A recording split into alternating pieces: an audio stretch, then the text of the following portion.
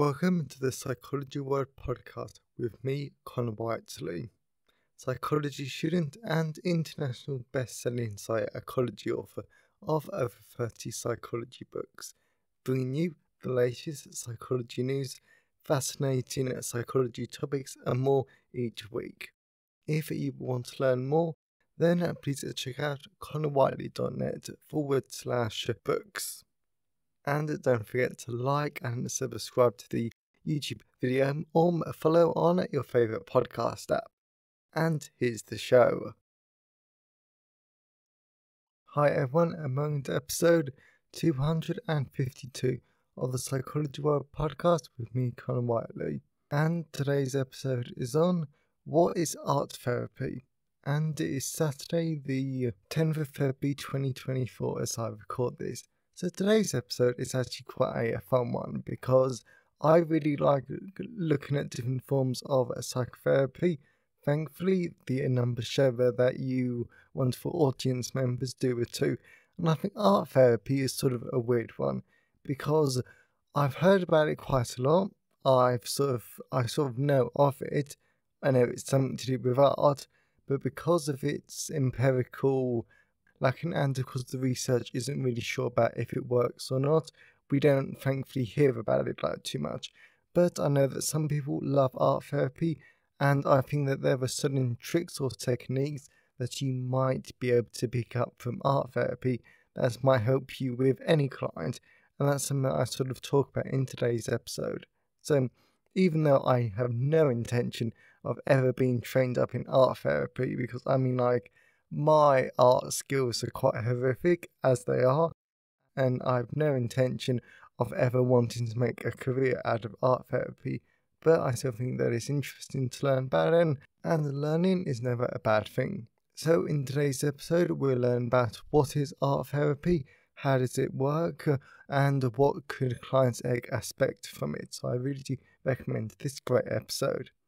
So, you've got that to look forward to in the content part of today's episode.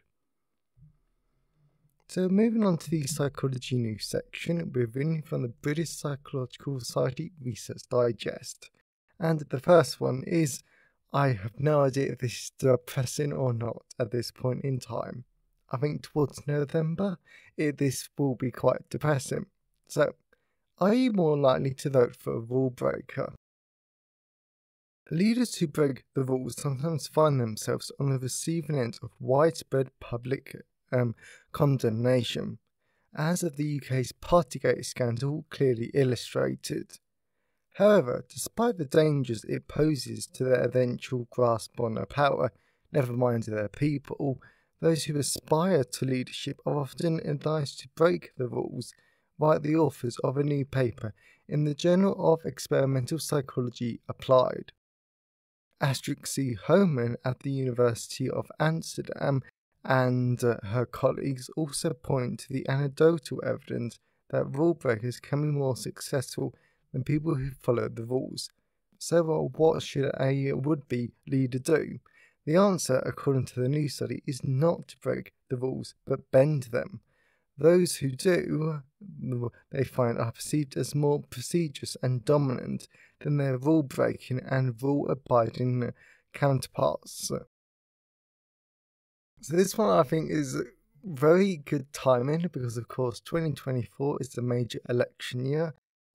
Right, all over quite a lot of the world. I thought, for example, like the UK is going to have an election at some point, and the US will have it in November.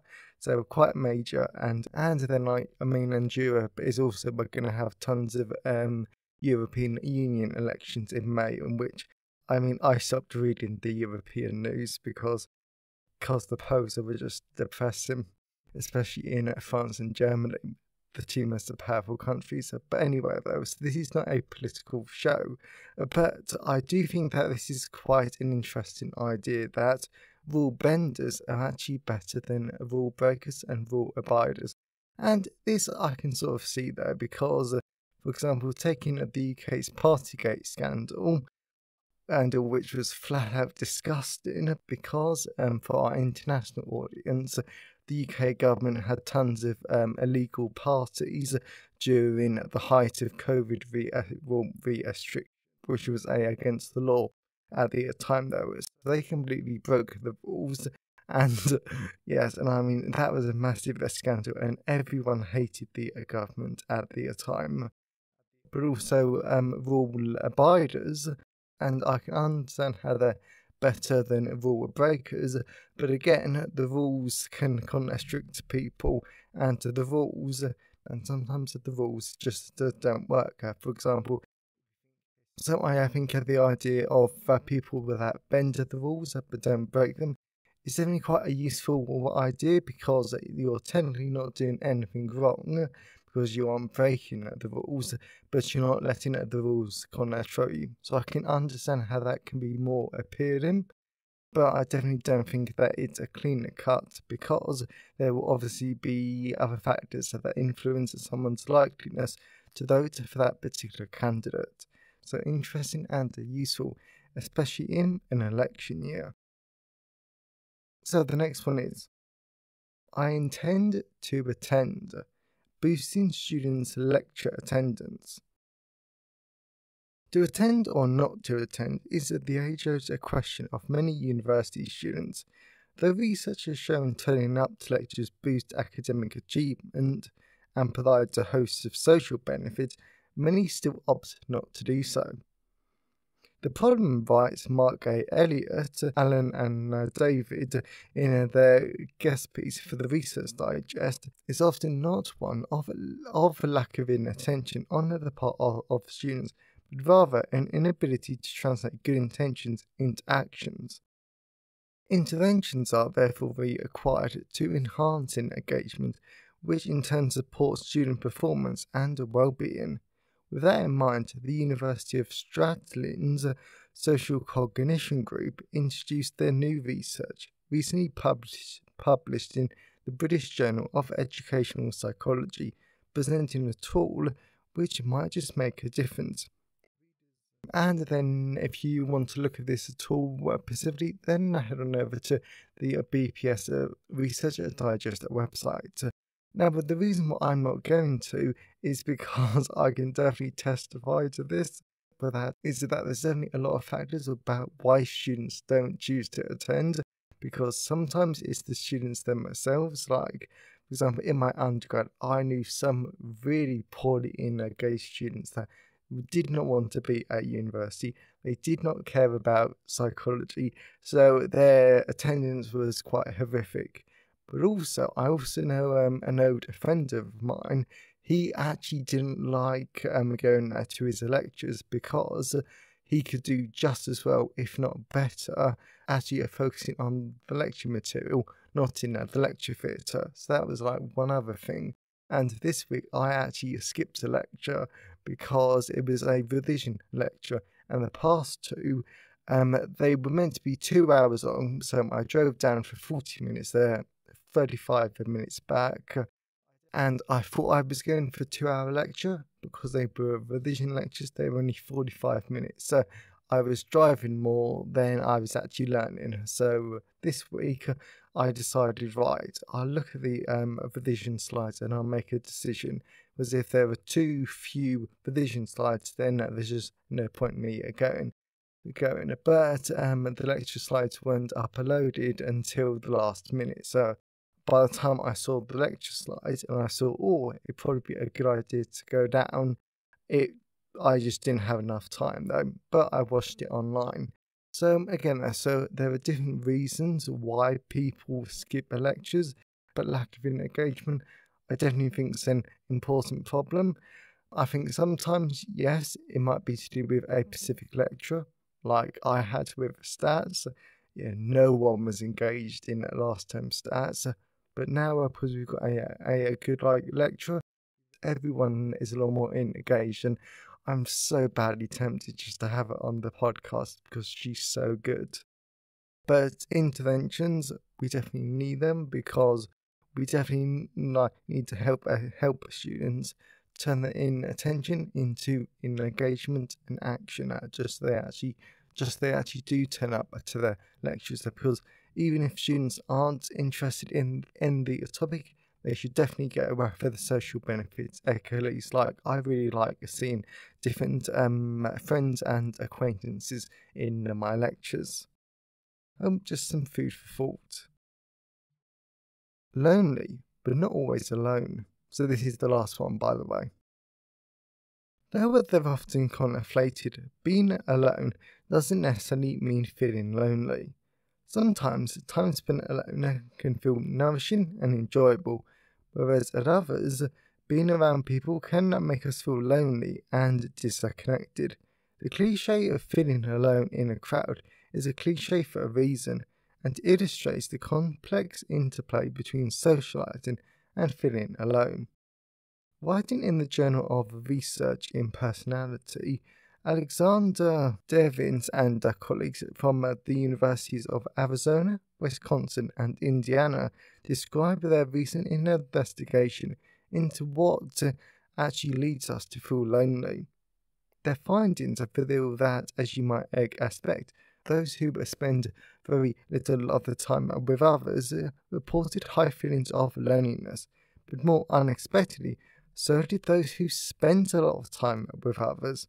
In fact, even those who spend more than 75% of their time with others reported high levels of loneliness.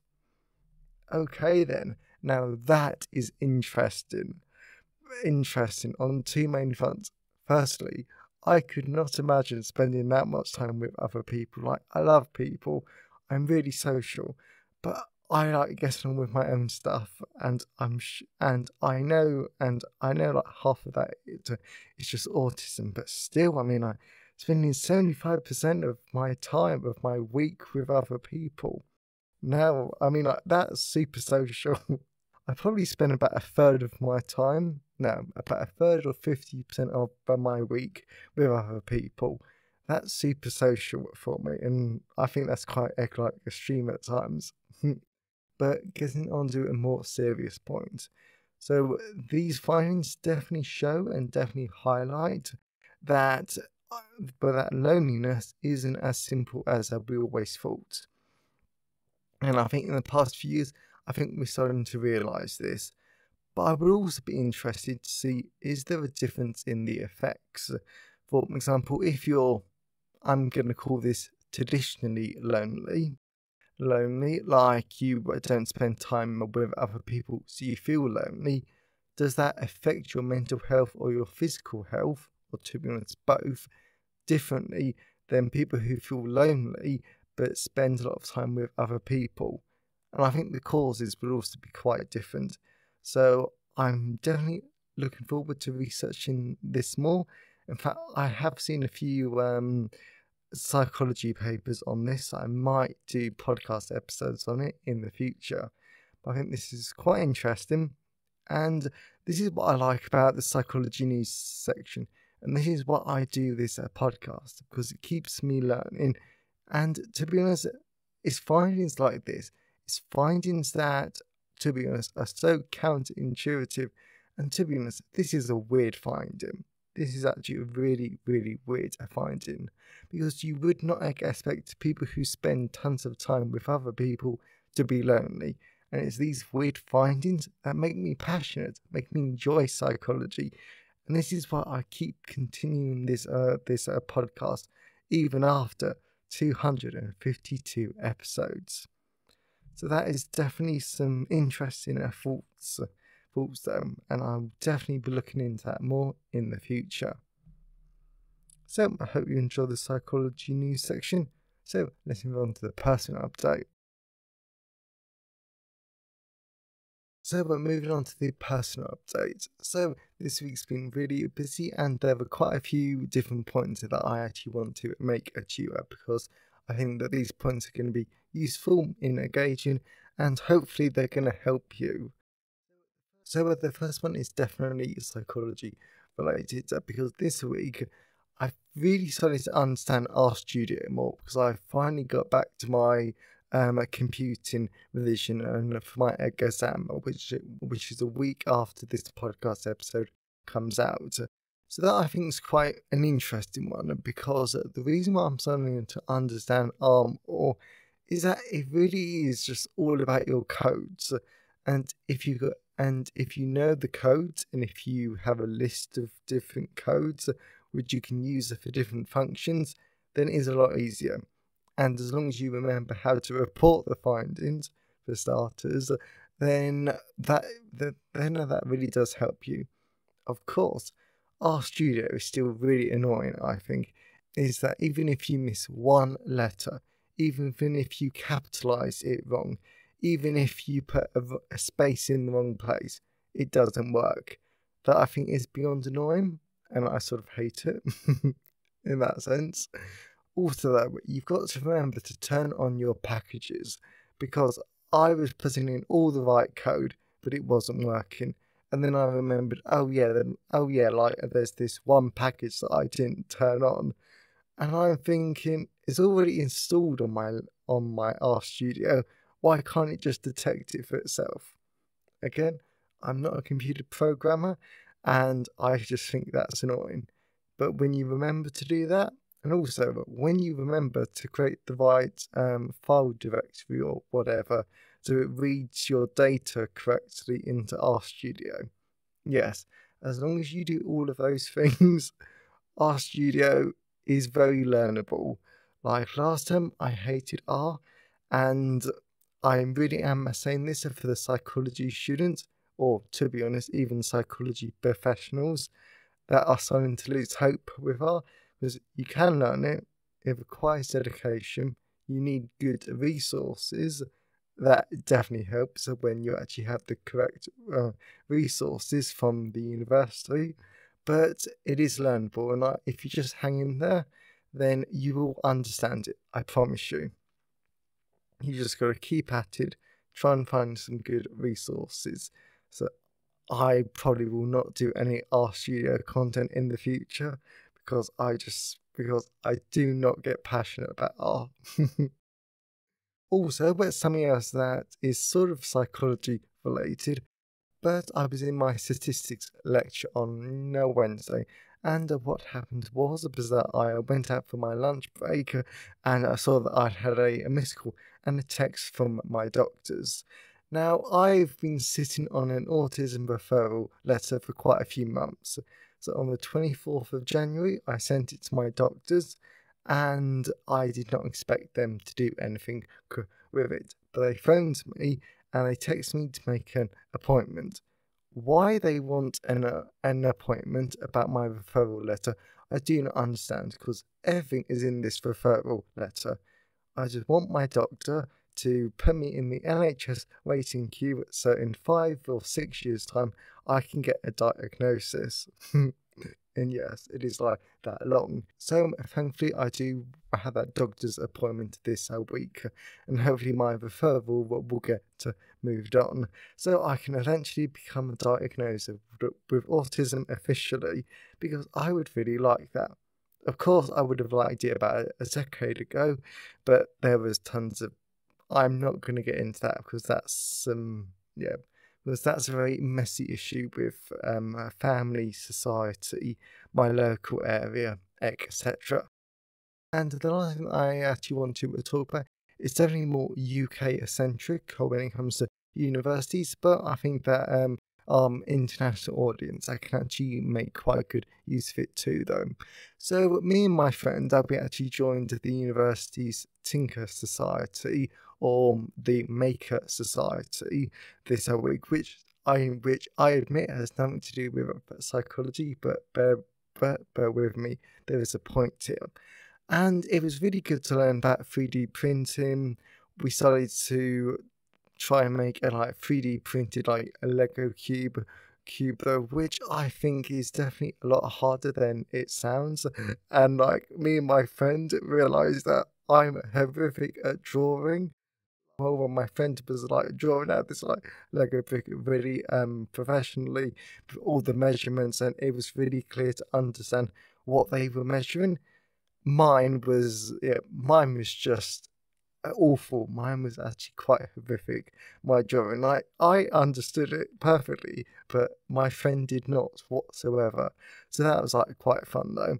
And my point is, is that we both had like a good time. We both like had fun, and we both pushed ourselves. So but my point is, UK university students, is that if you have an interest, if you think something might sound fun, but but you're brand new to this, then take a chance, go to this society, go with your friends, and just have fun because you never know well, what you're actually going to learn. For example, like um, I had an interest in bouldering, and so did my friend. We do not climb. Believe me, I do not climb to save my life. I don't even do much exercise except my 10,000 steps a day and some other stuff. But we are both like went to it, we're having fun, and Monday night was like the most fun I've had like for ages. And then Wednesday night, mm, well, Wednesday night at the like Tinker Society, I have never done 3D printing. I've never tried to make it. I've never tried to make a something, but I learned a lot and it was really interesting. And now, uh, because of my fiction books uh, and some of my other interests, I've actually got tons of uh, tons of different ideas which are going to benefit me in the future. And it gives a chance for me and my friend to like hang out. So just uh, go for it, have fun, and just see where your interest like takes you. Don't just go to university for your degree. University is so much more than it. Okay, so I just wanted to like leave that as a little parting message. And as always, I always love to hear your thoughts and feelings on today's episode. So you can always email me, connorwhiteley, connorwhiteley.net. You can always leave a comment at the show notes at connorwhiteley.net forward slash podcast. And you can always tweet me on Twitter at sci-fi Whiteley or leave a comment on the Facebook post at Connor Whiteley, psychology author. And today's episode has been sponsored by Abnormal Psychology, the causes and treatments for depression, anxiety, and more. So the reason why this is a, sponsor for today's episode is because it's great, really easy to understand book helps you to understand what the biological, social, and, and the psychological causes for depression and a whole host of uh, different mental health conditions but then uh, the book also explores the, the uh, treatment side. Uh, for example, how do psychotherapies work and, uh, and what's the theory behind them. So it gives you a really nice introduction uh, to that. And this uh, connects to today's episode. Well, because art therapy is a, possible treatment for depression and whole of other mental health conditions.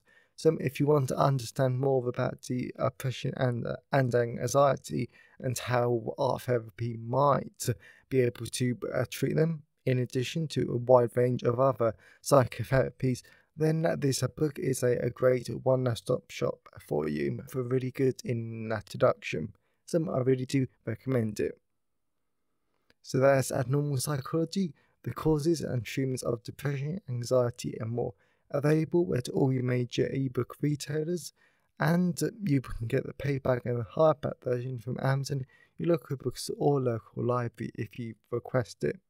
Or you can get the audiobook, narrated by artificial intelligence from selected audiobook retailers like Google Play, Kobo, Barnes & Noble, and selected library systems like Overdrive, Baker and Taylor, Bibliotheca, and more. Whilst buying books helps to support the creation and the editing of the podcast, my time is sponsored by my wonderful patrons. And as always, massive thank you to my wonderful patrons because your support shows that you like the show and that you want it to continue.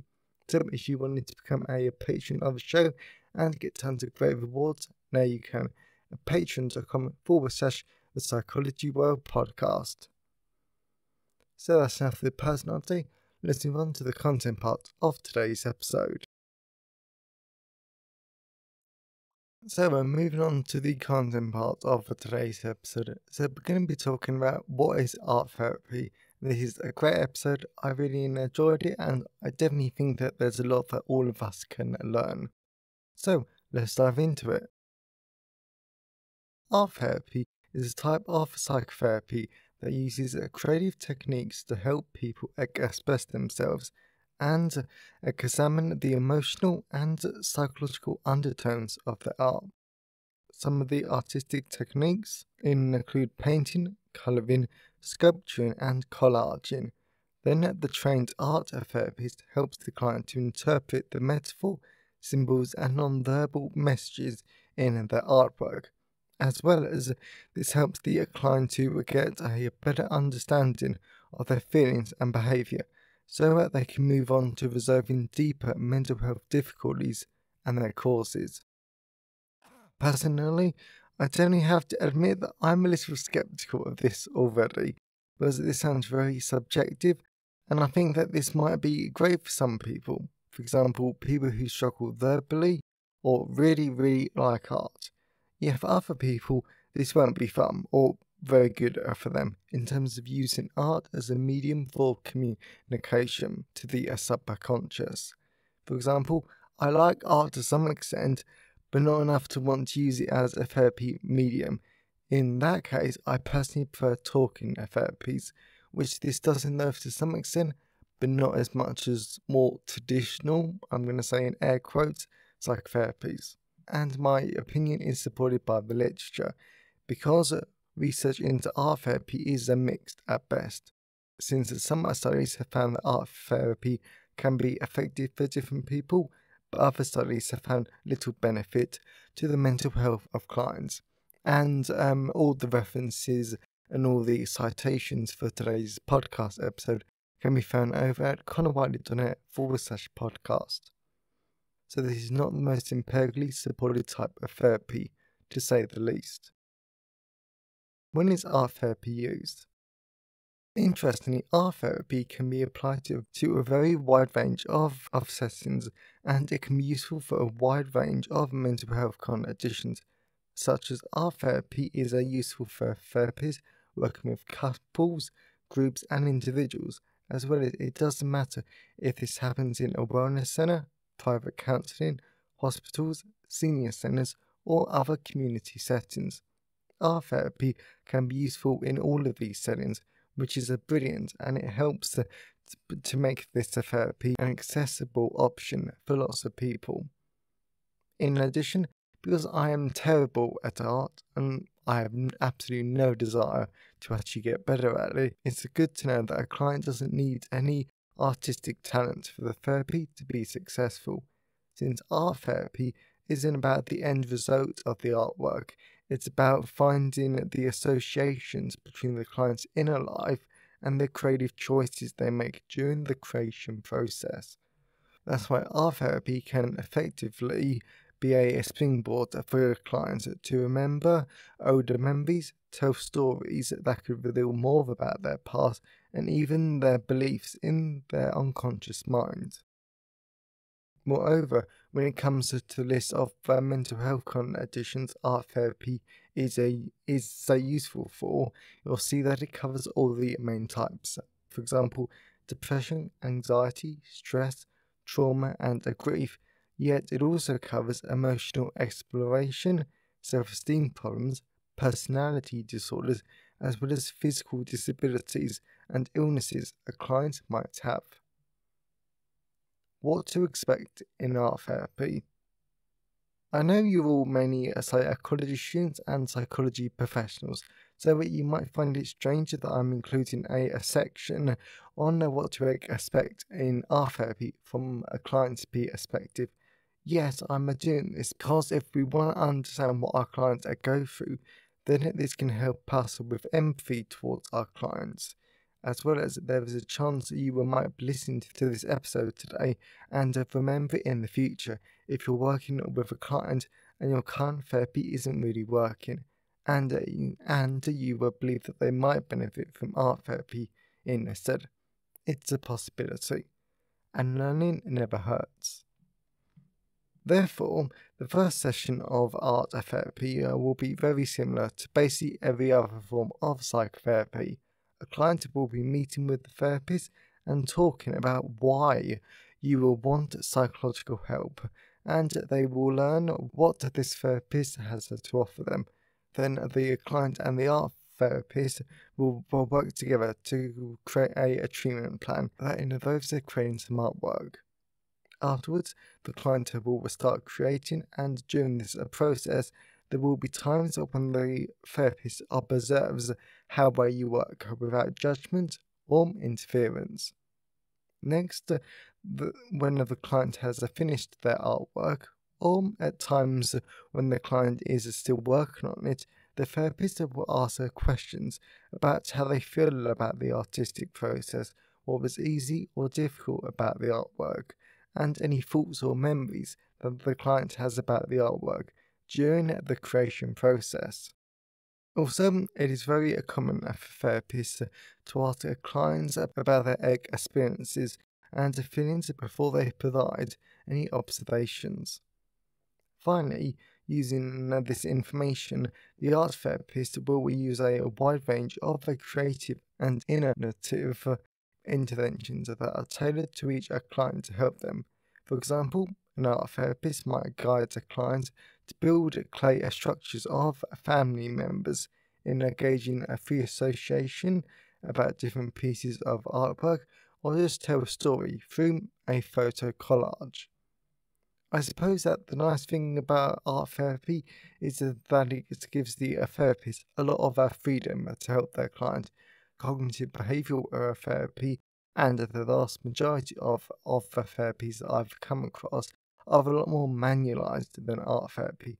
And most of the time, that is, that is a brilliant, but it does restrict therapists in what they can do well with their clients, to some extent, at least.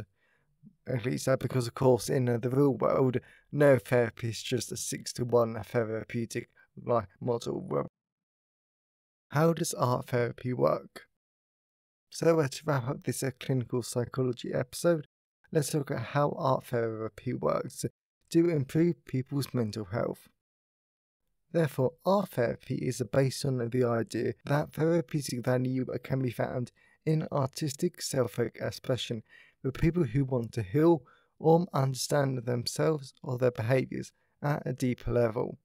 In addition, according to the American Art Therapy Association, art therapists are trained to understand the roles the various art media, texture, and color can play in the therapy process, as well as how these tools can help clients reveal their feelings, thoughts, and psychological dispositions.